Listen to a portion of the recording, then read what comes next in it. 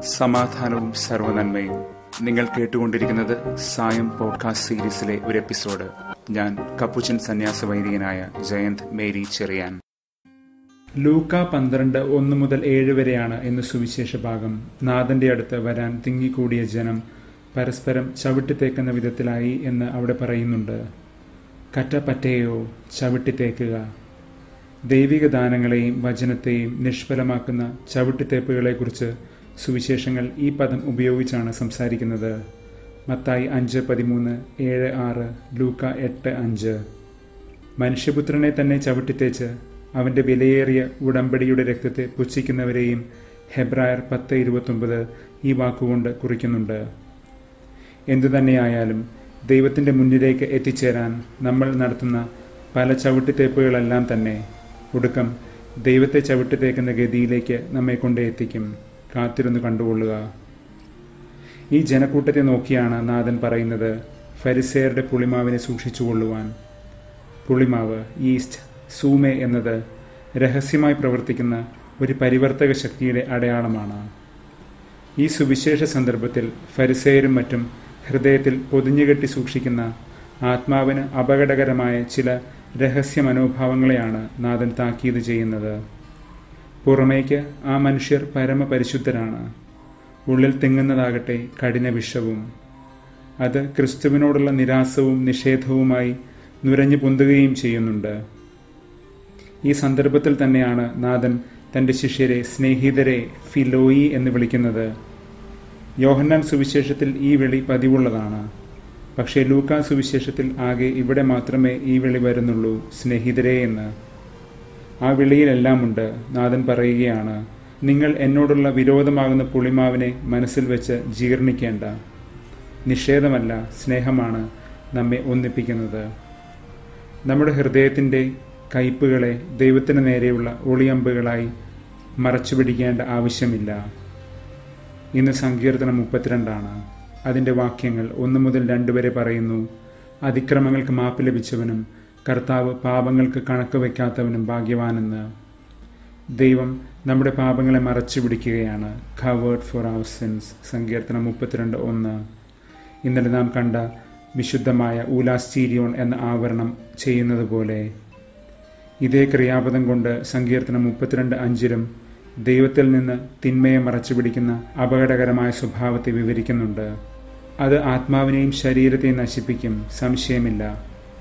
കഴിഞ്ഞ ദിവസങ്ങളിൽ നാം കണ്ടിരുന്നു ദാവീദും നാദാൻ പ്രവാചകനും തമ്മിലുള്ള സംഭാഷണങ്ങൾ. രണ്ട് സാമുവൽ പന്ത്രണ്ട് പതിമൂന്ന് ദാവീദ് പറയുകയാണ് ഞാൻ ദൈവത്തിന്റെ മുൻപിൽ തിന്മ ചെയ്തു പോയി. നാദാൻ അപ്പോൾ അവനോട് പറയുന്നു ദൈവം നിന്റെ പാപങ്ങൾ ക്ഷമിക്കുകയും ചെയ്തിരിക്കുന്നു. മറച്ചുവെച്ച തിന്മയല്ല ഏറ്റുപറഞ്ഞ ക്ഷമ നേടിയ തിന്മയാണ് ഇവിടെ സങ്കീർത്തകന്റെ പ്രത്യാശയെ വർദ്ധിപ്പിക്കുന്നത്. തീരെ നനച്ചിരിക്കാത്ത സമയത്ത് നടക്കുന്ന ഒരു അത്ഭുതം പോലെ തോന്നും. ദൈവത്തിന്റെ ക്ഷമയും പാപപ്പുറതിയും divine forgiveness resembles a miracle ഇതുപോലെ നനച്ചിരിക്കാത്ത ഒരു പ്രയോഗം കൊണ്ട് ശ്രീഹ ഇന്ന് ദൈവനീതിയെക്കുറിച്ച് സംസാരിക്കുകയാണ്. റോമർ നാല് ഒന്ന് മുതൽ എട്ട് വരെയുള്ള ഭാഗത്ത് പ്രവൃത്തി കൂടാതെ തന്നെ പാപിയെ നീതീകരിക്കുന്ന ദൈവം എന്ന് പറയുമ്പോൾ റോമർ നാല് അഞ്ച് പാപി അസേബിയ ദൈവചിന്തയില്ലാത്തവൻ എന്ന് തന്നെയാണ് അർത്ഥം. അത്രയും നീതി പ്രകടമാക്കുന്ന ദൈവത്തിൽ വിശ്വസിക്കുന്നവന്റെ വിശ്വാസം അവന് നീതിയായി പരിണമിക്കുന്നുവെന്നും. വിശ്വാസത്താൽ നീതീകരിക്കപ്പെട്ട അബ്രഹാം യഹൂദരുടെ മാത്രമല്ല വിജാതിയരുടെയും പിതാവാണ് എന്ന് ശ്രീഹ വാദിക്കുന്ന ഭാഗമാണിത്. അബ്രഹാം തന്റെ പരീക്ഷണത്തിൽ പാലിച്ച അനുസരണത്തിന്റെ ഫലമാണ് അവന് ലഭിച്ച നീതീകരണം എന്ന് യഹൂദർ കരുതി പോന്നിരുന്നു ഉൽപ്പത്തി ഇരുപത്തിരണ്ട് പതിനഞ്ച് പതിനാറ് ഒന്ന് മക്കബായ രണ്ട് അമ്പത്തിരണ്ട് പ്രഭാഷകൻ നാൽപ്പത്തിനാല് ഇരുപത് യാക്കൂബ് രണ്ട് ഇരുപത്തൊന്ന് ഇരുപത്തിമൂന്ന് ഇതെല്ലാം ഇത് വെളിവാക്കുന്നുണ്ട്. ശ്രീഹ പറയുകയാണ് അബ്രഹാത്തിന് ലഭിച്ച കൂലിയല്ല അവന്റെ നീതീകരണം. അവന്റെ പരിച്ഛേദനത്തിന് മുൻപ് തന്നെ അബ്രഹാം നീതിമാനായി ദൈവത്താൽ എണ്ണപ്പെട്ടു. അതിനാൽ പരിച്ഛേദനം ആവശ്യമില്ലാത്ത വിജാതിയരുടെയും പിതാവായി അവൻ മാറുകയാണ്. അബ്രഹാത്തിന് തന്റെ ഉടലിൽ നിന്ന് മാത്രമല്ല സന്തതികളുള്ളത്. ഏകദൈവത്തിൽ അടിയുറച്ച് വിശ്വസിച്ച് ദൈവസ്വരം അനുസരണയോടെ കാത്തുകൊണ്ട് വിശ്വാസം പ്രകടിപ്പിച്ചവനാണ് അബ്രാഹം. ആ അർത്ഥത്തിൽ അവൻ ദൈവജനത്തിന്റെ മുഴുവൻ ആദർശ പ്രതീകവുമാണ്. ഇന്ന് നമ്മൾ ധ്യാനിച്ച വരികൾ സങ്കീർത്തനം മുപ്പത്തിരണ്ട് ഒന്ന് മുതൽ രണ്ട് വരെ ആധാരമാക്കിയാണ് അബ്രഹാമിന് ലഭിച്ച നീതീകരണം എന്തെന്ന് ശ്രീഹ പഠിപ്പിക്കുന്നത്. അബ്രഹാത്തിന്റെ നീതീകരണത്തെക്കുറിച്ചുള്ള ഒരു പരമപ്രഖ്യാപനം ഉൽപ്പത്തി പതിനഞ്ച് പതിനാറിലും നാം കാണുന്നുണ്ട്.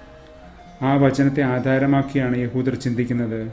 അബ്രഹാമിന്റെ നീതി അബ്രഹാമിന്റെ സവിശേഷ യോഗ്യതയാൽ വരുന്നുവെന്ന്. എന്നാൽ ശ്രീഹ പറയുന്നു തന്റെ പ്രവൃത്തിയുടെ മഹത്വത്തിൽ അബ്രഹാം മറ്റാരെയേക്കാൾ യോഗ്യതയുള്ളവനാണ്. ശരി തന്നെ വേണമെങ്കിൽ അവന് വമ്പ് പറയുകയും ചെയ്യാം. പക്ഷേ അവന്റെ വമ്പ് പറച്ചിൽ ദൈവത്തിന്റെ മുൻപിൽ വിലപ്പോകില്ല. അവൻ അബ്രഹാമാണെങ്കിൽ പോലും. സങ്കീർത്തനം മുപ്പത്തിരണ്ട് ഒന്ന് മുതൽ രണ്ട് വരെ. ഉൽപ്പത്തി പതിനഞ്ച് പതിനാറ് എന്നീ ഭാഗങ്ങളിൽ പ്രത്യക്ഷപ്പെടുന്ന ലോഗോസോമായി എന്നൊരു വാക്കുണ്ട്. ശ്രീഹ ആ വാക്കുപയോഗിച്ചാണ് ഇവിടെ വ്യാഖ്യാനം നടത്തുന്നത്. കണക്ക് വയ്ക്കുക എന്നാണ് ആ വാക്കിന്റെ അർത്ഥം. ക്രെഡിറ്റ് യഹൂദ വേദവ്യാഖ്യാന ശൈലിയിൽ ഒരു നിയമമുണ്ട്. ഗസേര ഷവ എന്ന്.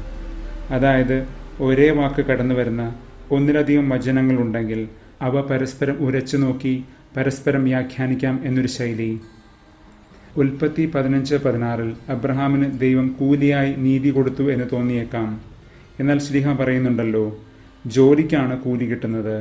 അങ്ങനെ ഒരു മേന്മ ആർക്കും അവകാശപ്പെടാനാകില്ല ദൈവത്തിന് മുൻപിൽ.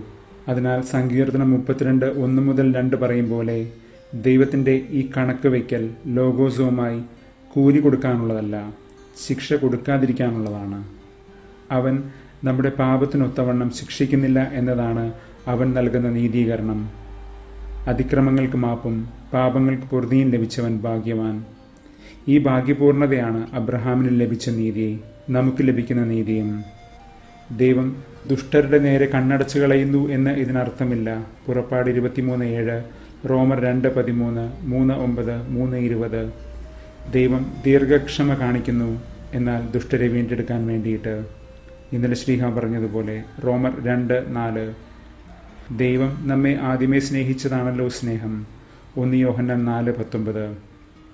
കഴിഞ്ഞ ഞായറാഴ്ച നാം കണ്ടിരുന്നു ഹെബ്രായർ നാല് പന്ത്രണ്ട് മുതൽ പതിമൂന്നിൽ ദൈവത്തിന്റെ ഈ കണക്ക് വയ്ക്കൽ ലോഗോസും അത് ഇഴകീറി പരിശോധിക്കുന്ന വാളുപോലെ ദൈവവചനം ലോഗോസും രണ്ടും ലോഗോസ് തന്നെ. തന്റെ കറതീർന്ന വിധിയിലും ദൈവം നമ്മുടെ പക്ഷം പിടിക്കുകയാണ്. അതുകൊണ്ടാണ് അവൻ പാപത്തിന്റെ കണക്കുകൾ ലോഗോസവുമായി മായ്ച്ചു കളയുന്നത്. നീതിയെ വരവ് വയ്ക്കുന്നതും ലോകോസോമായി. ഹൃദയ വിചാരങ്ങളെ അറിയുന്ന ദൈവം അവന്റെ മുൻപിൽ നാം ഹൃദയത്തെ തുറന്നു വയ്ക്കാൻ മടിക്കേണ്ട. ഇതാണ് ഇന്ന് നാം ധ്യാനിച്ചതിന്റെ ആകെ തുക. ഇന്ന് ആവിലായിലെ വിശുദ്ധ അമ്മത്രേസ്യയുടെ തിരുനാൾ കൂടിയാണ്. പ്രാർത്ഥനയുടെ കൊടുമുടി കയറിയവളാണവൾ. നാഥനോടൊപ്പം സഹിച്ചവളും. ഏറ്റവും കരുതീർന്ന ദൈവാനുഭവത്തിലേക്കുള്ള പടിപടിയായുള്ള പ്രയാണത്തെ കുറിക്കാൻ ആ അമ്മ പഠിപ്പിച്ച പ്രാർത്ഥനയാണ് ആഭ്യന്തര ഹർമ്മ്യം ഇന്റീരിയർ കാസിൽ എന്നത്. ഏഴ് തട്ടുകളുള്ള ഒരു പ്രയാണമാണത്. ജീവിത വ്യഗ്രതകളുടെയും ജനക്കൂട്ടത്തിന്റെ ചവിട്ടിത്തിമിർപ്പും ചവിട്ടിത്തേപ്പും ബഹളവും കടന്ന് സ്നേഹത്തിന്റെയും ദൈവവുമായുള്ള ഏകാന്തതയുടെയും ഉന്നത പടവുകൾ അത് ചവിട്ടിക്കയറുകയാണ്. അതൊരു പ്രാർത്ഥന മാത്രമല്ല ജീവിത ഗന്ധം കൂടിയാണ്. പല മുറികളുള്ള ഈ കോട്ട ഈ ഹർമ്മ്യം അത് നമ്മുടെ ആത്മാവ് തന്നെയുമാണ്. അതിന്റെ ഏറ്റവും ആഴത്തിൽ ഏറ്റവും തെളിച്ചമുള്ളവനായി നാഥൻ നമ്മെ കാത്തിരിപ്പുണ്ട് ഏറ്റവും അകത്തളത്തിൽ. അമ്മത്രേസ്യ പറയും പോലെ അവിടെയാണ് ആത്മാവിന്റെ ഏറ്റവും ഗഹനമായ രഹസ്യങ്ങൾ ദൈവത്തിന്റെ മുൻപിൽ ചൊരിയപ്പെടുന്നത്.